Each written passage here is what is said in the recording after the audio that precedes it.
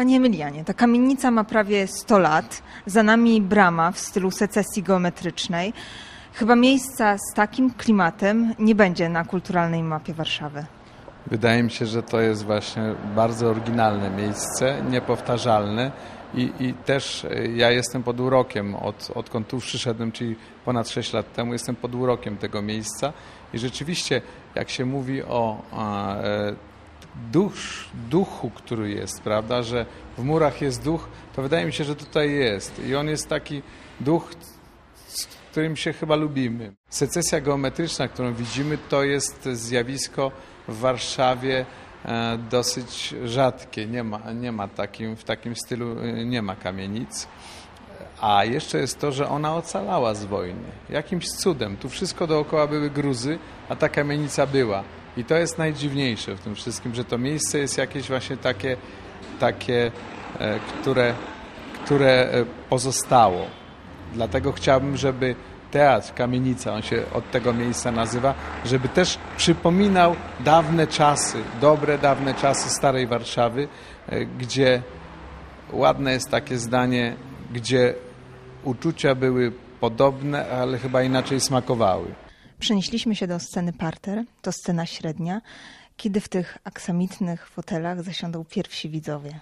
Już byli, widzowie już byli, zrobiliśmy tutaj dla lokatorów takie jajeczko na Wielkanoc. To był pierwszy spektakl. Tutaj siedzieli sobie mieszkańcy tej kamienicy.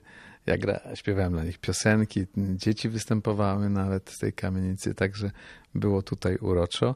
I spotykamy się tu prywatnie, ponieważ nie ma jeszcze odbiorów, tych wszystkich nie ma, e, a poza tym nie mogę sprzedawać biletów, dopóki nie rozliczę unijnych pieniędzy a termin mam 30 listopada na rozliczenie całości, a trzeba powiedzieć, że do tej pory z 5 milionów dostałem 40 tysięcy.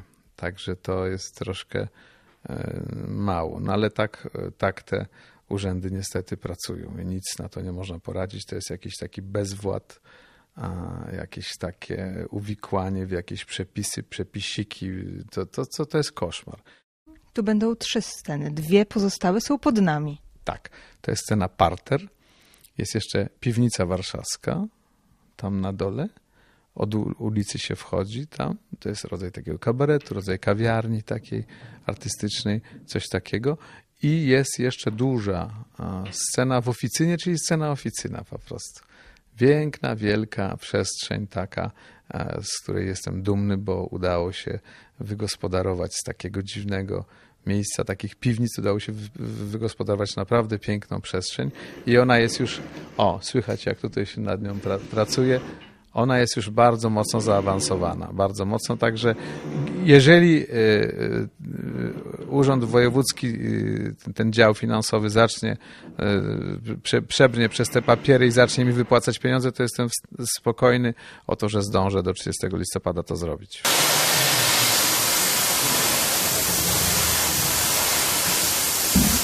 Próby już się odbyły. Odbywają się cały czas. Jest kilka spektakli, które się odbywają, odbywają się próby. Są e, poszczególne grupy aktorów e, i twórców, którzy te, te spektakle tworzą. Jest tych spektakli około siedmiu, e, które się robią tutaj w tych, w tych warunkach. Także wydaje mi się, że jak się może tak na początku przyszłego roku, jak się teatr już, już ruszy pełną parą, to będzie co pokazać. Ale też trzeba o jednej rzeczy powiedzieć. To jest, ja ten teatr nazywam towarzyskim. Teatr Kamienica ma być teatrem towarzyskim. To mi pozostało jeszcze z czasów stanu wojennego, kiedy robiliśmy teatr domowy. Nieprzypadkowa jest nazwa Kamienica. Nieprzypadkowe jest to miejsce. To miejsce jest z międzywojnia. To jest bardzo ważne. W międzywojnie, to, to, to w międzywojniu ludzie się spotykali.